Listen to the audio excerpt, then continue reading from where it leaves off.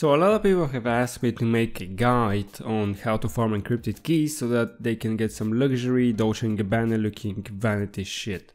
So here it is, I've gone out there in the big New York City and farmed some keys and yes that means there's no actual one good way to farm those. I can tell you this, the fact is that the fragments have 20% chance drop from named bosses anywhere, regardless if you're in the light zone, the dark zone, in a mission, a named boss can drop fragments, but alongside with those, a lot of people have neglected what I think is the best way to farm keys. Have you taken a look at your commendations tab? There's a huge amount of commendations that you might not have completed yet and they might require as little as spamming emotes or destroying traps. I think that the way that fragment keys are currently being distributed is probably the fairest decision Massive could take. It's neither too hard to farm them nor too easy, they don't drop that often, but instead the game challenges you to play it to the fullest and to play it in a certain way and then reward you with those keys. So yeah, I am sorry if you were expecting some secret reveal, unfortunately there isn't one, you just play the game